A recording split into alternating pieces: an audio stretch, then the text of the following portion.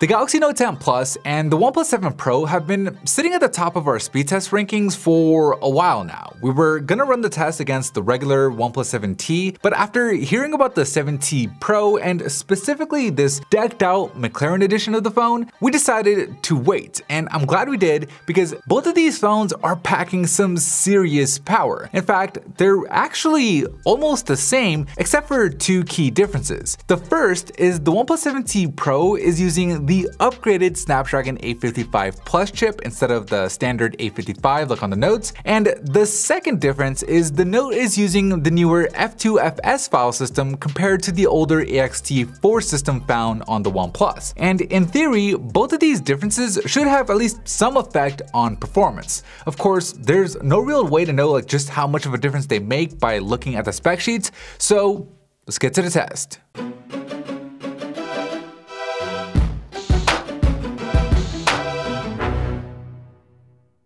After the test, you can find the official PhoneBuff Style rankings on our website at the link below, which we created with the sponsor of today's video in Wix. With Wix, you can tap into the power of your smartphone and AI by building your own professional websites right on your phone. Just answer a few questions, pick a theme you like, upload some photos, and boom, your site can be done in a matter of minutes. Or if you want more fine control, just use the drag and drop editor like I did to get everything looking just the way you want. Try it out for yourself at the first link down below. Alright, we'll kick things off by starting the stopwatches on each phone and then jumping into the first row, where the OnePlus 7T Pro gets the step over the Note 10 in Facebook and is able to improve on its lead in Starbucks. Here in Microsoft Word, we'll see if the OnePlus can create some more separation between it and the notes while loading this 500 page document, but while the 7T Pro did load that document at a slightly faster rate, it wasn't by much, which might cost the OnePlus here in the camera test, considering that it has to physically pop up that selfie cam where the Note doesn't.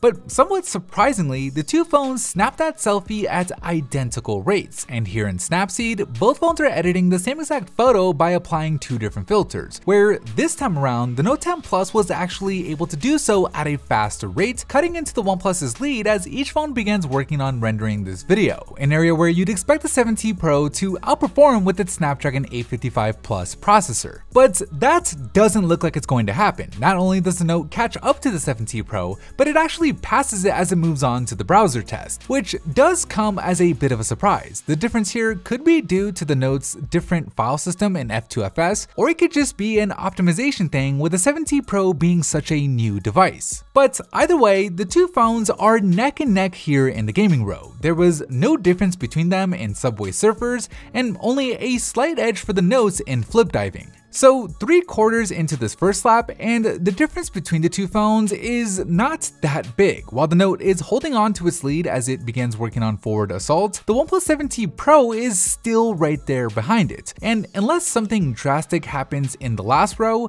I don't know if that's going to change. While the Note flew through Spotify, so does the 7T Pro. The same exact thing happens again in ESPN with the 7T Pro matching the Note's performance and once again in Hulu, meaning the Note finishes the first lap with a time of 1 minute and 55 seconds, just 2 seconds ahead of the 7T Pro which comes in at 1 minute and 57 seconds. So not a big difference between the two at all, and here in the second lap, with both phones having 12 gigabytes RAM, that's unlikely to change. In fact, outside Outside of slightly slower animations on the notes, the two phones perform the same with them ending just one second apart, which isn't enough to declare a clear winner, making this speed test a tie. Anyways, that is it for me in this video. Thank you guys for watching, and as always, I'll see you in the very next episode.